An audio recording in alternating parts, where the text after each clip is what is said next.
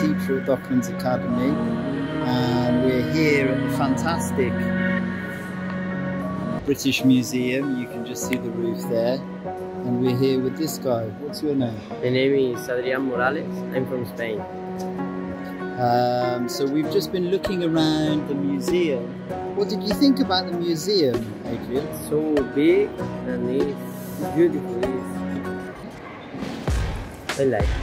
It's good. What What was your favourite thing that you saw in the museum? The um, the um, the history and the oh, it's fantastic. Yeah, that's good. And what about your experience of London so far? Do you like it here? Yeah, yeah, I like.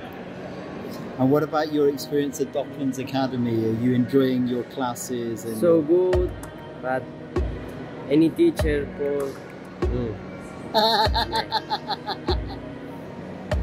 Thanks a lot, Adrian. Bye bye. Bye.